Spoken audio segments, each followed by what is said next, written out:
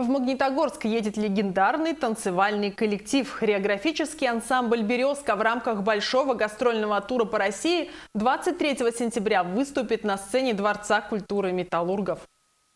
Коллектив, признанный национальным достоянием России. «Березка» больше 70 лет своим творчеством рассказывают миру, что такое красота по-русски. Когда артистки грациозно водят свои хороводы, у зрителей создается впечатление, будто девушки стоят на месте, а сцена вращается под ними.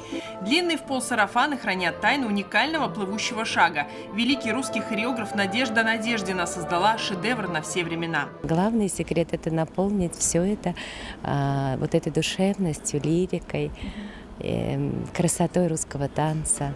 Костюмы «Березки» весят около двух с половиной тонн. Каждый настоящее произведение искусства из бархата, шифона, кружева или батика, расшитый тесьмой и бисером. За два часа хороводов и плясовых девушки меняют сарафаны и головные уборы более 20 раз.